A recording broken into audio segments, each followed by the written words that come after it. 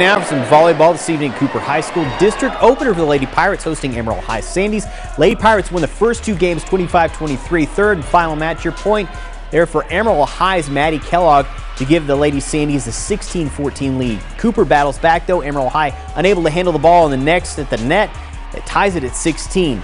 Game point for Cooper. Overpowering shot right here at the net and the Lady Cooper Pirates going to win this one 3 to nothing. Up in the